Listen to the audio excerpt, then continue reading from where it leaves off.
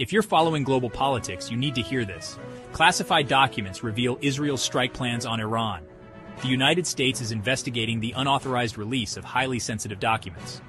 These documents, linked to the National Geospatial Intelligence Agency and National Security Agency, detail Israel's strategic military positioning for a possible attack on Iran.